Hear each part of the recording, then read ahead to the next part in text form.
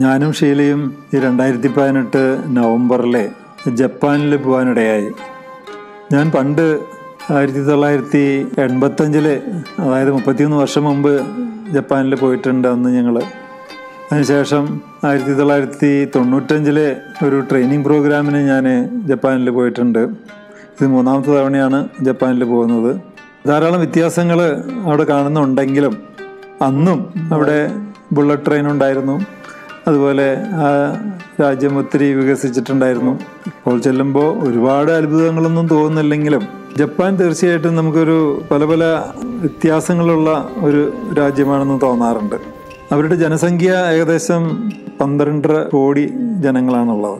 എന്താ പറയുക കിഴക്കിന്റെ ഒരു സാമ്രാജ്യം എന്നുള്ള നിലയ്ക്ക് ജപ്പാൻ പണ്ട് തൊട്ടേ ഒരു ഉന്നത പദവിയിൽ നിലനിൽക്കുകയായിരുന്നു. സെക്കൻഡ് വേൾഡ് വാറിന് മുൻപ് അവിടെ രാജ്യഭരണമായിരുന്നു ചക്രവർത്തി ഭരണമായിരുന്നു. അവരുടെ ആചാരങ്ങളും വളരെ വ്യത്യാസമാണ്. പ്രത്യേകിച്ച് അവർ ഇപ്പോൾ ഭൂരിഭാഗം പേരും ബുദ്ധമത അനുയായികളാണെങ്കിലും സിന്തോയിസം എന്ന് പറഞ്ഞ നമ്മുടെ ഹിന്ദുയിസം പോലെ തന്നെ ഒരു മതം അല്ലെങ്കിൽ ഒരു ആചാരം അവർക്കുണ്ട്. നമ്മുടെ പോലെയൊക്കെ തന്നെ ഒരുപാട് ദൈവങ്ങൾ പ്രകൃതിയെ ആരാധിക്കുന്നു. അവർക്ക് ഭൂമി തീയ് മരം വെള്ളം നദി എല്ലാം അവർക്ക് ദൈവങ്ങളാണ്. പക്ഷെ അവരൊരു കാര്യം ചെയ്തിട്ടുള്ളത് ബുദ്ധമതം ഉൾക്കൊണ്ടെങ്കിലും അവരുടെ പഴയ ആചാരമായിട്ടുള്ള ഈ സിന്തോയിസം അവരെ തുടർന്നു പോകുന്നുണ്ടെന്നുള്ളതാണ്. അവരുടെ ജനനവും മരണവും ഒക്കെ ഇപ്പോഴും ആ ഒരു സിന്തോയിസത്തിന്റെ ആ ജീവിത രീതിയാണ് പുലർത്തി പല ടെമ്പിളുകളിലും നമുക്ക് ചെന്ന് കഴിഞ്ഞാൽ സെൻട്രലിൽ വലിയ ബുദ്ധന്റെ വിഗ്രഹം ഉണ്ടെങ്കിലും അതിന്റെ സൈഡിലായിട്ട് പഴയ ചില വിഗ്രഹങ്ങൾ പ്രത്യേകിച്ച് ഇന്ത്യയിൽ ഉള്ള തരത്തിലുള്ള ചില ഷേപ്പുള്ള വിഗ്രഹങ്ങൾ അവർ പ്രതിഷ്ഠിച്ചിട്ടുണ്ട്. അപ്പോൾ ആദ്യം ബുദ്ധനെ വന്നിച്ചതിന് ശേഷം മറ്റേ സൈഡിലേക്ക് പോയിട്ട് സിന്തോയിസം കൂടി അവർ പ്രാക്ടീസ് ചെയ്യുന്നുണ്ടെന്നുള്ളത് ഒരു അത്ഭുതമായിട്ട് എനിക്ക് തോന്നി. അതുപോലെ രണ്ട് ശതമാനത്തോളം ക്രിസ്ത്യാനികളുണ്ട് അത്രേ ഈ ക്രിസ്ത്യാനികൾ പോലും സിന്തോയിസത്തിലൊക്കെ വിശ്വസിക്കുന്നു എന്നുള്ളത് നമുക്ക് ഒരു അത്ഭുതമായിട്ട് തോന്നാറുണ്ട്.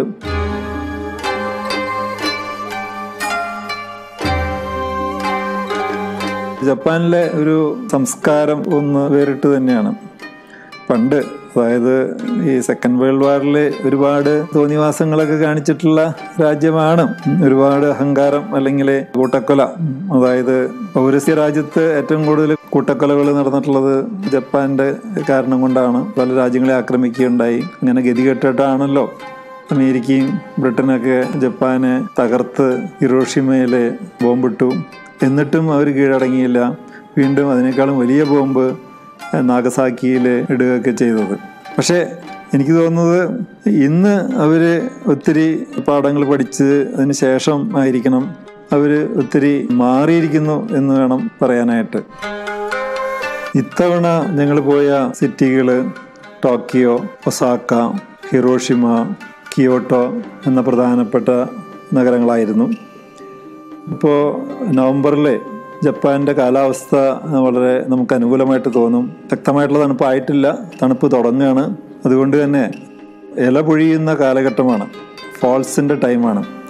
ഈ ഫോൾസിന്റെ ടൈമിൽ ജപ്പാനിൽ വളരെ കളർഫുൾ ആയിട്ടുള്ള മരങ്ങളെല്ലാം ഇല പൊഴിയുന്നതിന് തൊട്ട് മുമ്പ് ചില മരങ്ങൾ മഞ്ഞ നിറത്തിൽ മുഴുവൻ ഇലകൾ റെഡ് കളറിലുള്ളത് ഓറഞ്ച് കളറിൽ അങ്ങനെ പല പല കളറിലുള്ള ഇല പൊഴിയാറായിട്ട് നിൽക്കുന്ന ഇല പൊഴിയും ശിശിരത്തിൽ എന്നുള്ള ആ സമയമായതുകൊണ്ട് കാലാവസ്ഥ ഒരു പതിനഞ്ച് ഡിഗ്രി അല്ലെങ്കിൽ പത്ത് ഡിഗ്രി ആ റേഞ്ചായിരുന്നു അത് പ്രോപ്പറായിട്ടുള്ള ഡ്രസ്സ് ഉണ്ടെങ്കിൽ വളരെ കംഫർട്ടബിളായിട്ട് നമുക്ക് തോന്നും.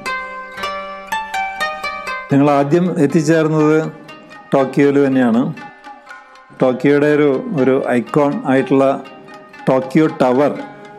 അത് അവർ പാരീസിലെ ഈഫൽ ടവറിനെ കോപ്പി അടിച്ച് ഉണ്ടാക്കിയിട്ടുള്ളതാണെന്ന് വളരെ വ്യക്തമാണ്. ഏറെക്കുറെ അതേ മാതൃകയിൽ പക്ഷെ അതേസമയം മേലോട്ട് ലിഫ്റ്റിൽ പോകാനുള്ള സൗകര്യങ്ങളൊക്കെ ആയിട്ടുള്ള ടോക്കിയോ ടവർ അവിടുത്തെ ഏറ്റവും ഒരു ഒരു ഒരു പ്രധാന ലൊക്കേഷനാണ്. ഇത് പറയുമ്പോഴാണ് ഈ സെക്കൻഡ് വേൾഡ് വാറിന് മുമ്പ് ജപ്പാൻകാർക്ക് എന്തിനെ അനുകരിക്കുക അല്ലെങ്കിൽ പകർത്തുക എന്നുള്ളൊരു ആശയങ്ങളായിരുന്നു. ഈവൻ അമേരിക്കയിലെ ന്യൂയോർക്കിലെ സ്റ്റാച്യു ഓഫ് ലിബർട്ടി കറക്റ്റായിട്ടുള്ള അതിന്റെ റിപ്ലിക്ക പോലും അവർ അവിടെ ഉണ്ടാക്കി വെച്ചിട്ടുണ്ട്. അത്ര ഉയരമൊന്നുമില്ല. അതിന്റെ ചെറുതായിട്ട് അത് കോപ്പി അടിച്ചപ്പോൾ ഞാൻ വിചാരിച്ചു അവരുടെ മുഖച്ചായയിലുള്ള സ്ത്രീയെ ഉണ്ടാക്കുന്നു. അതുമല്ല അത് തനി ആ യൂറോപ്യൻ ചായയിലുള്ള മുഖച്ചായയോട് കൂടിയിട്ടുള്ള പ്രതിമയുണ്ട്. സെക്കൻഡ് വേൾഡ് വാറിന് മുമ്പ് ജപ്പാനെ പറ്റിയുള്ള ജനറൽ ആയിട്ടുള്ള ഒരു ഇമ്പ്രഷൻ അവർ എന്താ പറയുക ഡ്യൂപ്ലിക്കേറ്റ് സാധനങ്ങൾ അതായത് യൂറോപ്പിലും അമേരിക്കയിലും എന്തുണ്ടാക്കിയിരുന്നു അത് നേരെ കോപ്പി അടിക്കുക എന്നുള്ള ഒരു പരിപാടിയായിരുന്നു. അതിനുശേഷമാണ് ഇതുപോലെ ജപ്പാൻ സെക്കൻഡ് വേൾഡ് വാറിൽ തകർന്നടിഞ്ഞ് നാമാവശേഷമാവുകയും. അതിൽ നിന്ന് ശരിക്കും പറഞ്ഞാൽ ഒരു ഒരു ഫിനിക്സ് പക്ഷിയെ പോലെ ഉയർത്തെഴുന്നേറ്റ ഒരു രാജ്യമാണ്. അവർക്കൊരു നല്ലൊരു അടി കിട്ടിയപ്പോൾ അവർക്ക് മനസ്സിലായി ഇങ്ങനെ പോയാൽ പോരാ. അവർ ഇനി വളരണമെങ്കിൽ അവരുടേതായ ഒരു ക്രിയേറ്റിവിറ്റി വേണം അവരുടേതായ ഒരു ഒരു വിഷൻ വേണം എന്ന് അന്നത്തെ ഭരണാധികാരികൾ തീരുമാനിച്ചതിന് ശേഷമായിരിക്കണം. ക്വാളിറ്റി ഉൽപ്പന്നങ്ങൾ നിർമ്മിക്കാൻ തുടങ്ങുകയും എല്ലാം ക്വാളിറ്റി ഉൽപ്പന്നങ്ങളായിരിക്കണം. ഏത് സാധനം ഉണ്ടാക്കിയാലും അത് ക്വാളിറ്റി ആയിരിക്കണം. അതൊരു കാറായിക്കോട്ടെ അല്ലെങ്കിൽ ഒരു ഇലക്ട്രോണിക് ഉപകരണം ആയിക്കോട്ടെ എല്ലാം ഹൈ ക്വാളിറ്റി ആയിരിക്കണം. എന്നാൽ മാത്രമേ പുരോഗതി ഉണ്ടാവുകയുള്ളൂ എന്ന് വിശ്വസിച്ചിട്ട് അത്തരത്തിൽ നീങ്ങിയതിന്റെ ഫലമാണല്ലോ. പിന്നീട് നമ്മുടെ യൂറോപ്പിലെയും അമേരിക്കയിലെയും കാറുകളെയൊക്കെ പിന്തള്ളിക്കൊണ്ട് ജപ്പാൻ കാറുകൾ ലോകമൊട്ടുക്ക് വിപണി കീഴടക്കുന്നതും അതുപോലെ തന്നെ ഇലക്ട്രോണിക് ഉപകരണങ്ങളും വിപണി കീഴടക്കുന്നതും. ജപ്പാനെ പറ്റി പൊതുവെ പറയുകയാണെങ്കിൽ അവർ വളരെ ക്രിയേറ്റീവ് ആയിട്ടുള്ള ഒരു ജനവിഭാഗമാണ്. എന്തിനും ഒരു പുതുമ ഒരു ക്രിയേറ്റിവിറ്റി കൊണ്ടുവരണം എന്ന് ആഗ്രഹിക്കുന്നതാണ്. അത് അവിടുത്തെ പബ്ലിക് പാർക്കുകളിൽ പോയാലും ഗാർഡൻ വിസിറ്റ് ചെയ്താലും നമുക്കത് മനസ്സിലാവും. വളരെ ഫേമസ് ആണല്ലോ. ജപ്പാനിലെ ചെടികളെ അവർ ഇങ്ങനെ ബോൺസായി സ്റ്റൈലിൽ വെട്ടി നിർത്തുകയും അത് ഒരു പ്രത്യേക ഒരു അലങ്കാരത്തോടു വിട്ട് സംരക്ഷിക്കുകയും ചെയ്യുന്ന ആ ഒരു രീതി. അപ്പൊ അധികാരങ്ങളിൽ രാജഭരണമുള്ള സമയത്ത് രാജാവ് അവരുടെ ദൈവത്തിന്റെ പ്രതിപുരുഷനാണ് എന്ന് വിശ്വസിച്ചിരുന്ന് അത്രയും വണങ്ങിയിരുന്ന ഒരു കാലഘട്ടം ഉണ്ടായിരുന്നു അവിടുത്തെ പടയാളികൾ അല്ലെങ്കിൽ ഭരണ നേതാക്കൾ ഒന്നിനും തോറ്റുകൊടുക്കില്ല തോറ്റുകൊടുക്കുന്നേക്കാളും നല്ലത് ആത്മഹത്യ ചെയ്യാണ് എന്നുള്ളൊരു ഒരു വിശ്വാസമായിരുന്നു. അതുകൊണ്ട് ഹരാക്കിരി എന്ന് പറഞ്ഞ ഒരു ഒരു ഇതുണ്ട്. അതായത് തോറ്റാൽ തോൽക്കുന്നതിന്റെ തൊട്ട് മുമ്പ് ആത്മഹത്യ ചെയ്യാനാണ് അന്നത്തെ ഒരു നിർദ്ദേശം. അത്രയും കമ്മിറ്റഡ് ആണെന്ന് അർത്ഥം. ഏത് കാര്യം ചെയ്യണമെങ്കിലും അതിപ്പോൾ ബിസിനസ്സിലാണെങ്കിൽ തന്നെയും ഒരു തോൽവി സംഭവിക്കുകയാണെന്ന് ഉറപ്പുണ്ടെങ്കിൽ ആത്മഹത്യക്ക് വരെ തയ്യാറാവും അത്ര. അത് അർത്ഥം ഞാൻ പറഞ്ഞു വരുന്നത് അത്രയും ഏത് കാര്യത്തിനും വളരെ കമ്മിറ്റഡ് ആണ്. ജപ്പാന്റെ ഒരു സംസ്കാരം ഇന്ന് വളരെയധികം സിവിക് സെൻസുള്ള ഒരു ജനസമൂഹമാണ് ജപ്പാൻകാർ. അതായത് മറ്റുള്ളവർക്ക് യാതൊരു തരത്തിലുള്ള ഇൻകൺവീനിയൻസും വരാൻ പാടില്ല. പ്രത്യേകിച്ച് പബ്ലിക് പ്ലേസുകളിൽ ഒരിക്കലും മറ്റുള്ളവർക്കൊരു ഒരു അസൗകര്യം വരാൻ പാടില്ല എന്ന് ചിന്തിക്കുന്ന കൂട്ടരാണ്. പലപ്പോഴും ധാരാളം പേരെ മുഖത്ത് മാസ്ക് വെച്ച് നടക്കുന്നതായിട്ട് കാണാം നമുക്ക്. ഞാൻ ആദ്യം വിചാരിച്ചത് ഇവർ രോഗത്തെ ഭയന്നിട്ട് മാസ്ക് വെച്ച് നടക്കുകയാണ്. ഞങ്ങളുടെ കൂടെ ഉണ്ടായിരുന്ന ഗൈഡിനോട് ചോദിച്ചപ്പോൾ അവർ പറയുന്നത് അതല്ല. ഇവർ ഓരോരുത്തരും എന്തെങ്കിലും ഒരു രോഗിയായിരിക്കും. അപ്പോൾ അവിടെ ഒരു സാധാരണ ഒരു നിർദ്ദേശമുള്ളത് നിങ്ങളൊരു രോഗിയാണെങ്കിൽ കോൾഡോ അല്ലെങ്കിൽ പനിയോ എന്തെങ്കിലും രോഗം ഉണ്ടെങ്കിൽ നിങ്ങൾ ദയവീത് മാസ്ക് ധരിക്കൂ. ആ അസുഖം മറ്റുള്ളവർക്ക് പകരരുത്. അതിനു വേണ്ടിയിട്ടാണ് അധികം പേരും മാസ്ക് ധരിക്കുന്നത്. അതുപോലെ തന്നെ ക്ലെൻലിനെസ്സിന്റെ കാര്യത്തിൽ വളരെ വളരെ എന്താ പറയുക യൂറോപ്പിനെയും അല്ലെങ്കിൽ അമേരിക്കയെയും ഒരുപടി കൂടി മുന്നോട്ട് കടന്നിട്ട് വളരെ ശുഷ്കാന്തി കൊടുക്കുന്ന ഒരു ജനതയാണ്. ഞങ്ങളവിടെ ചില സ്ഥലങ്ങളിലൊക്കെ സന്ദർശിച്ചപ്പോൾ പ്രത്യേകിച്ച് ചില റോഡിന്റെ വക്കത്തുകൂടെ കടന്നു പോകുന്ന ഒരു ചെറിയ കനാല്. ആ കനാലിലെ വെള്ളം എന്താ പറയുക കണ്ണീര് പോലെ അത്രയും ക്ലിയറാണ് അതിൽ നമുക്ക് മീനുകളെ കാണാം. അതിൽ അരയന്നങ്ങൾ നടക്കുന്നു. ആ സ്ഥലം ഏകദേശം നമ്മുടെയൊക്കെ ഫോർട്ട് കൊച്ചി പോലെ ഒരു ഹെറിറ്റേജ് ഏരിയ ആയിരുന്നു അപ്പോൾ പബ്ലിക് പ്ലേസുകളും വളരെ ഭംഗിയോടെ അതുപോലെ അവിടുത്തെ ട്രീസ് കട്ട് ചെയ്ത് നിർത്തിയിരിക്കുന്നു ചെടികൾ വെച്ച് പിടിപ്പിച്ചിരിക്കുന്നു. പബ്ലിക് പ്ലേസ് ആണ്. ഇത്രയും പ്രകൃതിയെ സംരക്ഷിക്കുക അതേമാതിരി പബ്ലിക് പ്ലേസുകൾ സംരക്ഷിക്കുക. ഓരോ സ്ഥലത്ത് ചെന്ന് കഴിഞ്ഞാലും ഓരോരോ പൂങ്കാവനമായിട്ട് നമുക്ക് തോന്നണമെങ്കിൽ അത്രയും ഒരു ശുഷ്കാന്തി കൊടുക്കാതെ സാധിക്കില്ല എന്ന് എനിക്ക് തോന്നാറുണ്ട്. ക്ലെൻലിനെസ്സിനെ പറ്റി പറയുമ്പോൾ അവർ പറയുന്നത് അവരുടെ എഡ്യൂക്കേഷണൽ സിസ്റ്റത്തിൽ തന്നെ പ്രത്യേകിച്ച് കൊച്ചു കുട്ടികളാകുമ്പോൾ തന്നെ ആ ഒരു കൾച്ചർ നിങ്ങൾ ഡെവലപ്പ് ചെയ്യും. പ്രത്യേകിച്ച് പബ്ലിക് പ്ലേസിൽ ലിറ്ററിങ് അങ്ങനെയുള്ളതൊന്നും ഒരിക്കലും പാടില്ല എന്നുള്ളൊരു മെസ്സേജ് കുട്ടികൾക്ക് കൊടുക്കുന്നു. അതുപോലെ തന്നെ സ്കൂളിലെ കുട്ടികൾ തന്നെയാണ് അത്ര. ഈവൻ ദോ അവിടെ ക്ലീനിങ് സ്റ്റാഫ് ഉണ്ടെങ്കിൽ കുട്ടികൾ തന്നെ ക്ലാസ് റൂം അടിച്ചു വൃത്തിയാക്കണം. ടോയ്ലറ്റ് കഴുകണം. അപ്പോൾ ഇതെല്ലാം നമ്മുടെയൊക്കെ ജീവിതത്തിന്റെ ഒരു ഭാഗമാണെന്ന് കുട്ടികളെ പഠിപ്പിക്കുന്നു. മുതിർന്നവരെ ബഹുമാനിക്കാനും എന്തെങ്കിലും ഒരു കാര്യം ഉണ്ടെങ്കിൽ അപ്പോൾ മുതിർന്നവരുടെ മുന്നിൽ കുട്ടികൾ തലകുനിക്കുന്നത് കാണാം. അതേപോലെ പരിചയമില്ലാത്തവരുടെ അടുത്തും തലകുനിക്കുന്നത് കാണാം. അത്രയും ഡിസിപ്ലിൻഡ് ആയിട്ടുള്ള ഒരു ജനസമൂഹത്തിനെ സെക്കൻഡ് വേൾഡ് വാറിന് ശേഷം വളർത്തിയെടുത്തിട്ടുണ്ടെങ്കിൽ അത് നമുക്കും സാധിക്കില്ലേ എന്ന് തോന്നിപ്പോവാറുണ്ട്. അതുപോലെ നേരത്തെ പറഞ്ഞ പോലെ മറ്റുള്ളവരെ സഹായിക്കുക. ഫോർ എക്സാമ്പിൾ നമ്മൾ ചിലപ്പോൾ ഏതെങ്കിലും റെസ്റ്റോറന്റിന്റെ പേര് പറഞ്ഞ് വഴി ചോദിച്ചാലേ അവിടെ ഭാഷ ഒരു പ്രശ്നമാണ്. അപൂർവം കുറച്ച് പേർക്കെങ്കിലും ഇംഗ്ലീഷ് അറിയാം. അപ്പോൾ അത് മനസ്സിലാക്കിയവര് നമ്മുടെ ഒപ്പം നടന്ന് രണ്ട് മൂന്ന് തിരിവ് തിരിഞ്ഞിട്ട് നമ്മളെ അതിന്റെ മുന്നിൽ ആ റെസ്റ്റോറന്റിന്റെ മുന്നിൽ എത്തിക്കുന്നവരെ അവരൊപ്പം നമ്മുടെ കൂടെ പോരും. നമ്മൾ ഇന്ത്യക്കാർ ഒരിക്കലും ചെയ്യാത്ത ഒരു കാര്യമാണ് അത് ജപ്പാൻകാരുടെ ഭക്ഷണ രീതി വളരെ വിചിത്രമാണെന്ന് പറയാറുണ്ടല്ലോ. പ്രത്യേകിച്ച് അവർ പച്ചമീൻ ഭക്ഷിക്കും. ഞങ്ങളും പരീക്ഷിച്ചു നോക്കി. പച്ചമീൻ ശരിക്കും പറഞ്ഞാൽ അത് അവർ അത്രയും ക്ലീൻ ചെയ്ത് തന്നെയല്ല അത് കണ്ടാൽ തന്നെ നമുക്ക് കഴിക്കാൻ തോന്നും. കാരണം അത്രയും ഹൈ ക്വാളിറ്റിയിലാണ് അത് അവിടെ നിരത്തി വെച്ചിരിക്കുന്നത്. തന്നെയല്ല ഈ പച്ച മീൻ അവരുടെ ഉണ്ടാക്കി വെച്ചിരിക്കുന്ന സോസിൽ മുക്കി ചവച്ച് തിന്നുമ്പോൾ ഒരിക്കലും അത് പച്ചയായിട്ടുള്ള മീറ്റാണ് അല്ലെങ്കിൽ മീനാണ് എന്ന് തോന്നാറില്ല. ഞാൻ നന്നായിട്ട് എൻജോയ് ചെയ്തു. അവരുടെ സുഷി അല്ലെങ്കിൽ സുഷിമി അങ്ങനെയൊക്കെയുള്ള വിവിധ തരത്തിലുള്ള ഭക്ഷണ രീതികൾ ട്രൈ ചെയ്ത് നോക്കി. അതും തന്നെ ഭക്ഷണം ഒക്കെ അവർ ടേബിളിൽ സെറ്റ് ചെയ്യുമ്പോൾ കളർഫുള്ളായിട്ടും ആർട്ടിസ്റ്റിക്കായിട്ടും അതിന്റെ ഒരു പ്രസന്റേഷൻ തന്നെ നമ്മളെ ഒക്കെ അത്ഭുതപ്പെടുത്തും. അങ്ങനെ എല്ലാം കൊണ്ടും ഏതിലും അവരൊരു ക്രിയേറ്റിവിറ്റി ഒരു കല ഉൾക്കൊള്ളിക്കാനായിട്ട് അവർ ശ്രമിക്കുന്നുണ്ട്. ജപ്പാനെ പറ്റി പറയുമ്പോൾ ഇത്രയും അഡ്വാൻസ്ഡ് ആണെങ്കിൽ തന്നെയും പരമ്പരാഗത രീതികളൊക്കെ ഇപ്പോഴും അവർ മുറുകെ പിടിക്കുന്നുണ്ട്. അതായത് ഇപ്പോൾ ഒരു വെഡ്ഡിംഗ് ഒക്കെ വന്നാൽ തന്നെ ഒരിക്കലും അവർ നമ്മുടെ പോലെ മോഡേൺ ഡ്രസ്സ് ഇടില്ല. അതേസമയം അവരുടെ പഴയ ഡ്രസ്സ് കിമോണ ഇടുള്ളൂ. ധാരാളം ന്യൂലി വെഡഡ് കപ്പിളുകളെ അവിടെ കണ്ടു. അവരുടെ ഒരു പ്രാക്ടീസ് വെഡിങ് കഴിഞ്ഞ് അന്ന് ഈവനിങ്ങിൽ ക്യാമറാമാനുമായിട്ട് പല പല പബ്ലിക് പാർക്കുകൾ സന്ദർശിക്കും. പല പല പോസിൽ പല ലൊക്കേഷനിൽ ഫോട്ടോ എടുക്കും വീഡിയോ എടുക്കും. അപ്പം ഞങ്ങൾക്കും ന്യൂലി വെഡഡ് കപ്പിളുകളെ ഫോട്ടോ എടുക്കാനും വീഡിയോ എടുക്കാനൊക്കെ സന്ദർഭം കിട്ടി. ജപ്പാന്റെ ഒരു പ്രത്യേകതയാണ് ഒരു ടീ സെറമണി എന്ന് പറഞ്ഞ വളരെ പവിത്രമായിട്ടുള്ളൊരു ആചാരമുണ്ട്. പ്രധാനപ്പെട്ട ഒരു ഗസ്റ്റിനെ അവർ സ്വീകരിക്കുന്നത് ഒരു ടീ സെറമണിയോട് കൂടിയിട്ടാണ്. അത് വളരെ വിചിത്രമാണ്. നമ്മൾ വിചാരിക്കും ഇതിലെന്തിരിക്കുന്നു? വളരെ പവിത്രമായിട്ട് ടീ സെറമണി ടീ ഹൗസസിലാണ് ഈ ടീ സെറമണി നടക്കുന്നത്. അതിന് പ്രാക്ടീസുള്ള വളരെ ദിവസങ്ങൾ വളരെ മാസങ്ങൾ കൊല്ലങ്ങളോളം പ്രാക്ടീസുള്ള സ്ത്രീകളാണ് ഈ ടീ സെറമണി നടത്തുന്നത്. നമ്മളൊരു എന്താ പറയുക ഒരു കുർബാന കാണുന്ന പോലെയൊക്കെ സൂക്ഷിച്ച് വളരെ പവിത്രമായിട്ട് ഓരോ സ്റ്റെപ്പും കടന്നിട്ടാണ് ഈ ടീ സെറമണി കംപ്ലീറ്റ് ചെയ്യുന്നത്. ഈ ടീ സെറമണിക്ക് ഉപയോഗിക്കുന്ന ടീ നമ്മുടെ നാട്ടിൽ ഉപയോഗിക്കുന്ന ടീ ലീഫ് അല്ല അത് വേറെ ഏതോ ഒരു ചെടിയുടെ ഇലകൾ പൊടിച്ച് പച്ചയായിട്ടുള്ള ഒരു തരം പൊടിയാണ്. കടും പച്ച നിറത്തിലുള്ളതാണ്. അതിനൊരു പച്ച രസമുണ്ട്.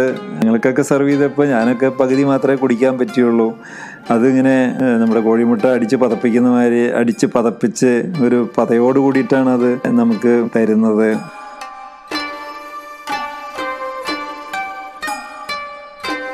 നമ്മളെല്ലാവരും കേട്ടിട്ടുണ്ട് ജപ്പാനിലെ ഗേഷ. ഗേഷ എന്ന് പറയുമ്പോൾ നമ്മളൊക്കെ കേട്ടിരിക്കുന്നത് ഇന്ത്യയിലെ ദേവദാസി സമൂഹം പോലെയുള്ളൊരു ഒരു വർഗമാണ് എന്ന്. പക്ഷേ എന്റെ അറിവിന് വ്യത്യസ്തമായിട്ട് അവിടുത്തെ ഗൈഡും മറ്റുള്ളവരും പറഞ്ഞു മനസ്സിലാക്കിയത് ഇവർ അങ്ങനെ പ്രോസ്റ്റിറ്റ്യൂട്ട്സ് ഒന്നുമല്ല. അവർ അഞ്ചു വർഷത്തോളം ട്രെയിനിങ് എടുത്തിട്ടുള്ള കൗൺസിലേഴ്സ് ആണ് അത്രേ അവർ പലപ്പോഴും ആണുങ്ങളെ കൗൺസിൽ ചെയ്യും. അവർക്ക് എന്താ പറയുക സ്വാതന്ത്ര്യം കൊടുക്കും. പലപ്പോഴും പല കോർപ്പറേറ്റ്സും ഒക്കെ ഒരു ഗസ്റ്റ് വന്നു കഴിഞ്ഞാൽ ഒരു ഗേഷയെ മീറ്റ് ചെയ്യാനുള്ള അവസരം ഒരുക്കി കൊടുക്കുക. പ്രോസ്റ്റിറ്റ്യൂഷൻ ഉണ്ടായിരിക്കാം. എനിക്കറിയില്ല. പക്ഷെ എന്നിരുന്നാൽ തന്നെയും ഗേഷ എന്നുള്ള ഒരു സംസ്കാരം ഇന്നും അവിടെ നിലനിൽക്കുന്നുണ്ട്.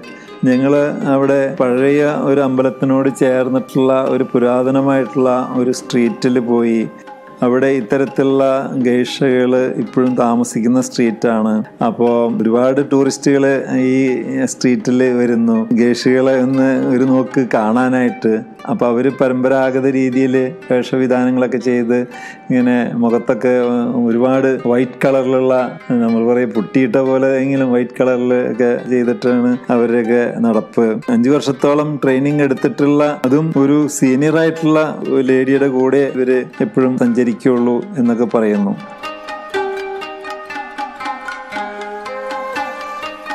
അന്ന് വർഷങ്ങൾക്ക് മുമ്പ് ജപ്പാനിൽ പോയപ്പോഴും അവർ വലിയൊരു മഹാത്ഭുതമായിട്ട് തോന്നിയതാണ് അവിടുത്തെ ബുള്ളറ്റ് ട്രെയിൻ.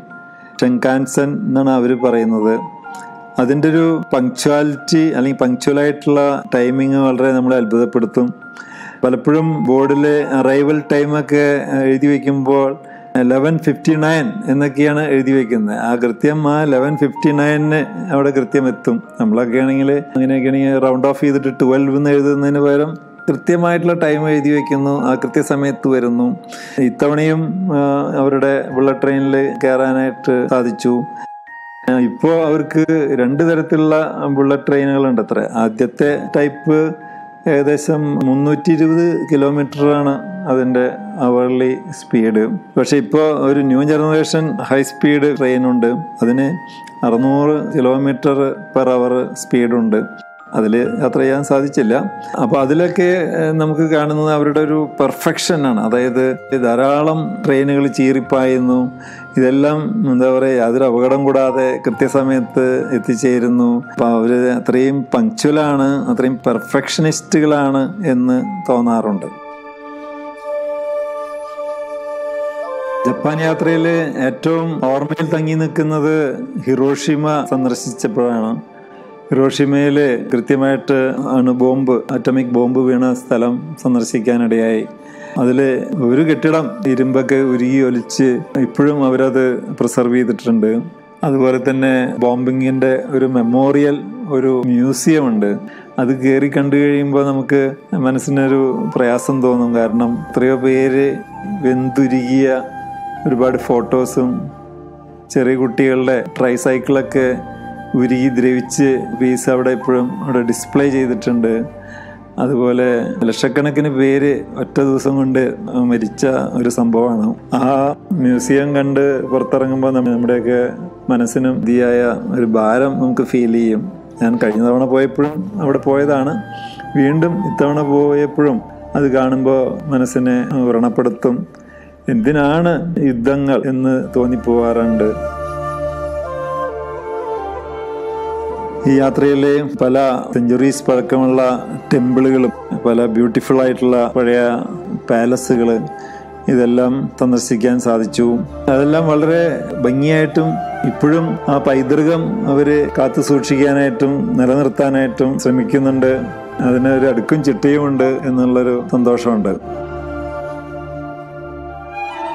ഞങ്ങളുടെ യാത്രയിലെ ഒരു ബാംബു പാർക്ക് മുളകളുടെ ഒരു തോട്ടം കാണാനായിട്ടുള്ള സന്ദർഭമുണ്ടായി പലതരത്തിലുള്ള പല വെറൈറ്റി മുളകൾ.